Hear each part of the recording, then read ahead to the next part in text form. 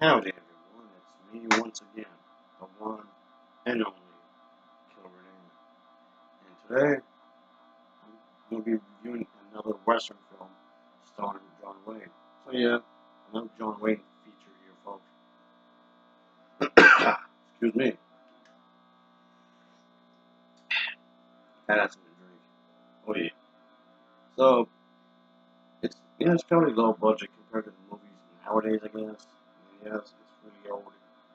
But I guess this is one of the more, more well-known uh, Western films I'm talking about, as it was often considered to be a lot of people's favorite Western film. Stagecoach is the one we're reviewing, folks. So, as usual, I do have the top of the plot. So, let's just, you know, into it, shall we? So, here we go.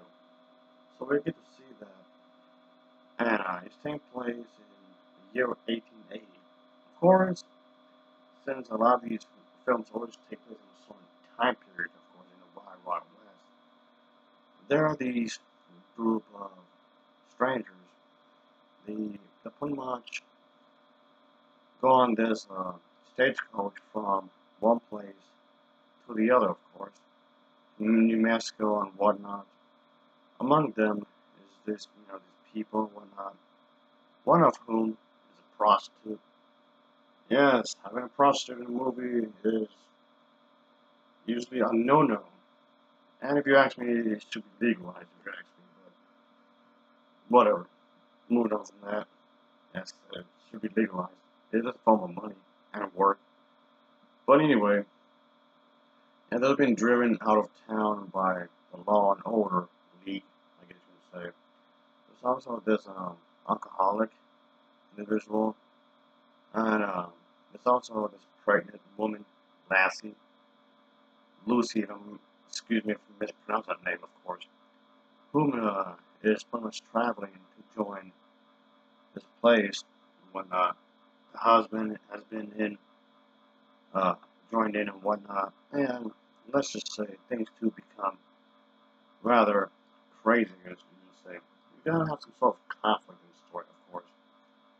But yeah, you're traveling from the, this town to pretty much like different places and whatnot. So you really do get a sense of traveling, I guess you say. Which I actually thought was pretty cool. There's a big sense of travel. So there's a lot of scenes where you see that it's very well choreographed and you try to give you the sense of what they're trying to go for, obviously, and how it's displayed, and all the scenery and whatnot. Really, really nice, of course. Of course, they're uh, they're doing this. Uh, these people are traveling at their own risk, I guess you can say. Uh, but they would be escorted by these soldiers, so to speak. But uh, but anyway, among these passengers are these prostitutes. There's uh so on and so forth. Of course, they'd be thrown out and whatnot. And this, of course, this movie is based upon a short story, which I have never read, by the way, so I can't really tell you if it's faithful or not. Uh, just thought, let, let's just thought say that real quick. I, I don't know how faithful it is any at all when it comes to this movie, uh, material to the story and whatnot. Pretty much the structure of the plot is also familiar with this kind of uh, stories where they have to go on this grand adventure. Of course, the passengers are introduced. They, uh, they board this this thing and they face a crazy danger, of course. And of course, trying to make uh, the people who made this movie trying to make it seem exciting. Um, you know, the exciting bits, the exciting adventure of who lives, who dies, which stage, I mean, we'll, we'd be on this story and whatnot, and what would happen, of course. Uh, there's a lot more to this, of course, which I don't want to spoil, of course, but this really, this one really does attempt to, you know, have a story, you say. It really does. Uh, trying to have a some story and whatnot. There's plenty of um, stuff I can say about it, but I don't want to spoil I didn't say, obviously. I don't spoil anything really. But, yeah, I can see why a lot of people like this, of course. The, the camera work in this is actually quite good. I said, the camera work is really, really nice, of course.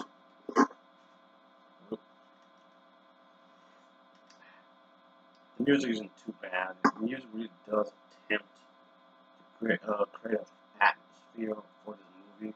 In other words, is what I'm saying. So the music does work, of course. But yeah, so yeah, of course, uh, when it comes to these types of movies, these Western films, and a lot of these films get a lot of flack for uh, for being a certain way or whatever. I mean, some people might take this movie as, you know, political incorrectness or whatever.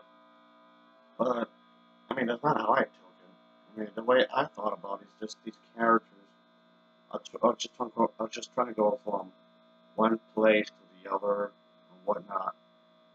But, I know some people nowadays would just take this movie as, as if it was talking down to some group of people.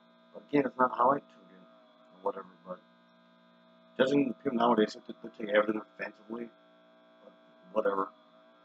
But um, man, don't get me wrong. There's been plenty of old movies that uh, made crude jokes about some group of people and whatnot.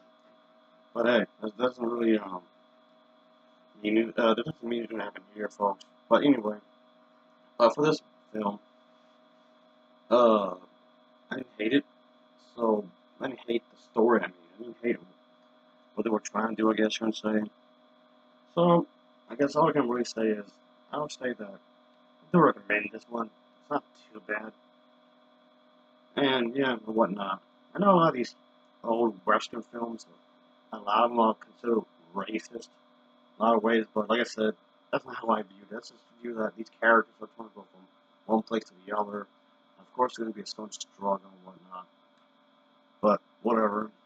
Whatever. Whatever Of course, you're gonna have some drama. It's a story. You get all these people, oh, on this crazy adventure or whatever. But anyway, this is a Western film. I'll give it an overall rating. Oops, yeah, an overall rating of a 7.0. I think it's a 7.0 out of 10 for me. And of course, as always, thanks for watching and take care. Until next time. See ya. Oh yeah. Later.